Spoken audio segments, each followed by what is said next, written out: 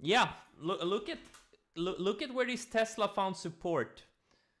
There was a guy in on Twitter that says he did, didn't understand the logic of the mo of moving averages. He thought you know technical analysis is crap.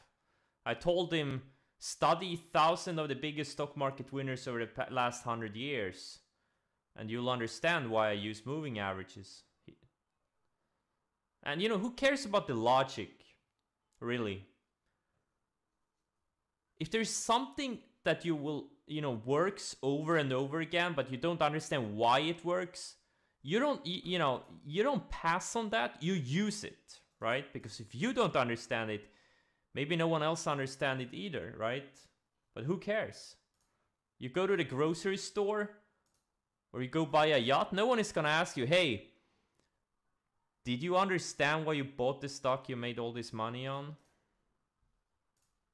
no one is going to ask you that you have the money in the bank, no one is gonna ask you if you understood the logic behind the trade. Yeah, exactly. I think, you know, trying to understand everything. If you know something works, you shouldn't overthink, you should just go with it. You don't need to understand why this or that is going up. The fact that it's going up and acting technically well and especially if it's a leader, right? Because you have to understand, like a lot of times in the markets, markets and stocks, they many times fall, uh, you know, move before the fundamentals become obvious.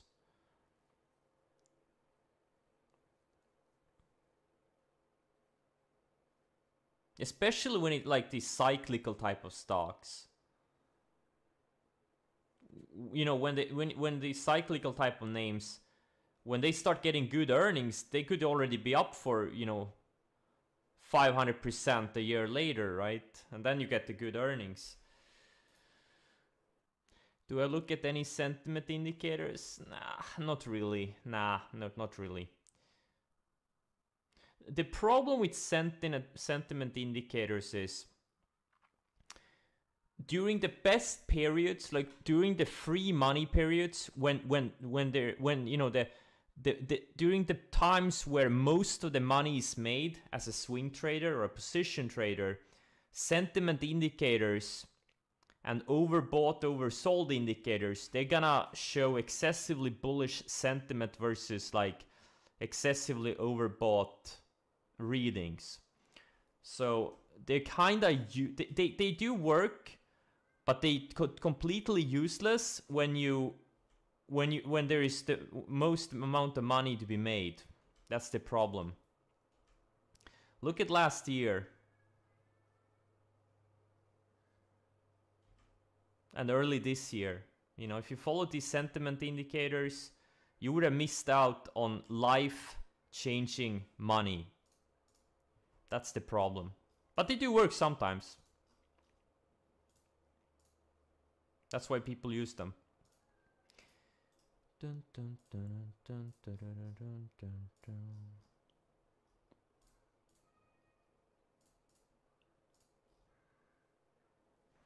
And there's a guy on Twitter that I follow. Um, actually, there's two guys. I don't know which one of them. Is it the next big trade or Kevin Marder? But one of them said, you know, he stopped using uh, sentiment indicators in the 90s because he saw the same thing when the life-changing money is to be made, the sentiment indicators will all show like uh, excessively bullish sentiment for months, for months on end. And if you sell or get out out of the market or whatever, go, you know, take a step back during those periods, you're gonna miss out on life-changing money. And remember, you know, on these stuff like Lucid, you know,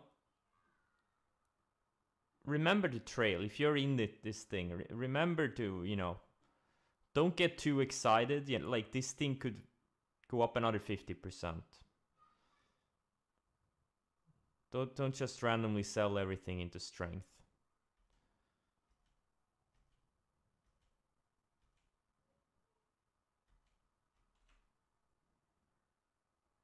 It's better to sell a partial too little bit too late than too early. Better to sell, you know, 10% too late than 100% too early.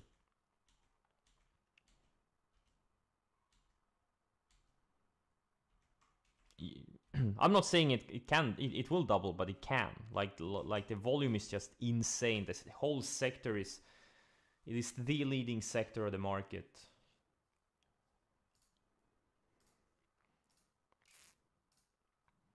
And the volume is just insane. Like I haven't seen this type of volume since AMC back in May, June.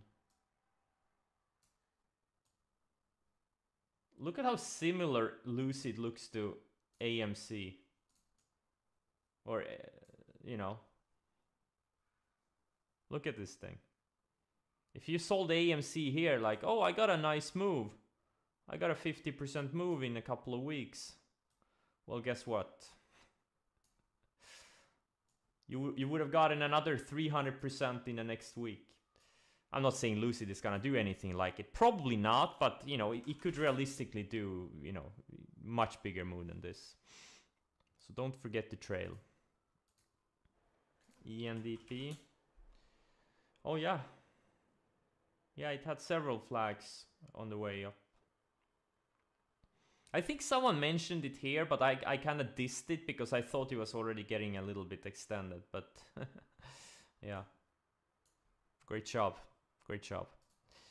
This is why you need to build your own conviction and not uh, trust, you know, rely on someone else. So important. You need to build your own conviction in these setups.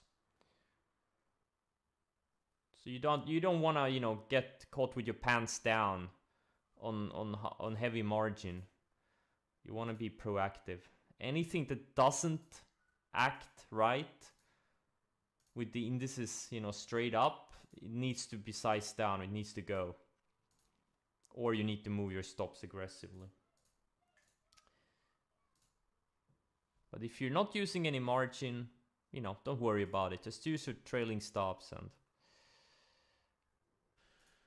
and look at this TTD. It's breaking a you know a long like year long range here, and it's been building higher lows for like a year. You know, EPs are not always, but many times these EPs are where um, you know a new trend starts. And today is a potential for that. It's already traded twice the average volume. It traded like if you look at it, the first five minutes or 15 minutes or whatever, 20 minutes, it traded the whole, uh, you know, it traded average daily volume before it broke out on the five minute chart.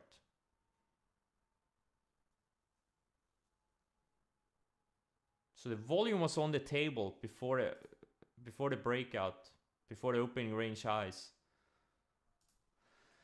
So these are the type of EPs you're looking for. You know, preferably, you know, not always, but many times, you know, stocks that are already in an existing uptrend over the past, you know, six months or a year or two years or whatever. And then preferably they have higher lows for many months. And then they kind of break out of those big ranges on an EP. Or it could be earnings or or uh, some kind of other EP. Those are my favorite ones where the technicals and fundamentals converge.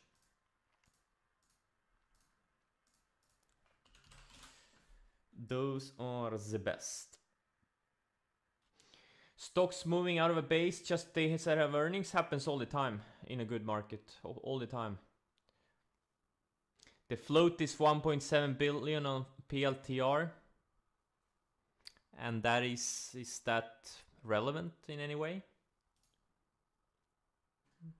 Well tesla has a float of uh, almost a billion and it has a market cap of you know gazillion trillion and it, it's up 50% in three weeks.